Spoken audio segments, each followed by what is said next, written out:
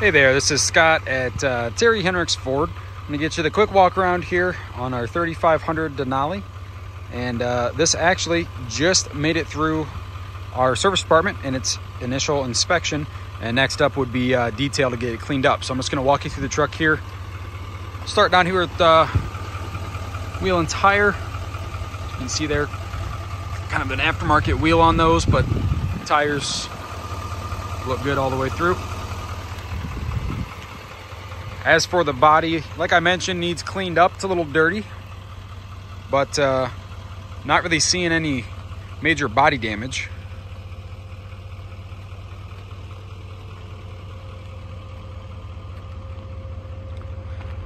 Try to get you a closer look here. All of this is literal dirt. This needs to be uh, cleaned off. And it actually is starting to rain out here, so maybe it'll get cleaned up a little bit before we take it inside. All right, up here, I am seeing a small ding. The tailgate, about the size of the tip of my thumb.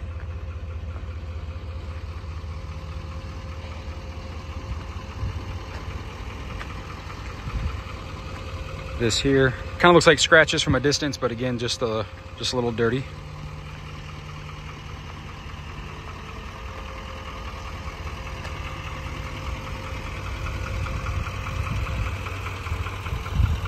All right, then I'll get you inside here real quick. Take a look at the back seats first. Overall, the inside is actually pretty well kept. Um, does still get a, need a good detail, but uh, overall, not too bad. Interior is in good condition. No rips or tears in the leather. Hop up in the front. A little bit of the same. Could use a good vacuum and a good wipe down, but other than that, Everything looks to be okay. Cover some stuff here for you. There you got your controls over there, as I'm sure you're used to. All your climate controls and everything there. Heated and cooled seats. And there's the dash for you. No lights on, just the uh, seat belt, because I don't got that on right now. And just under 60,000 miles. Air works good, it's blowing cold. Radio works.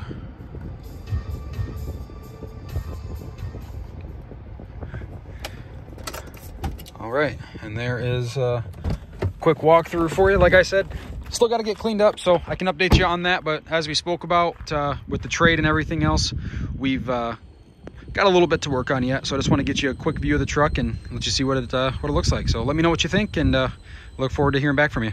Thanks.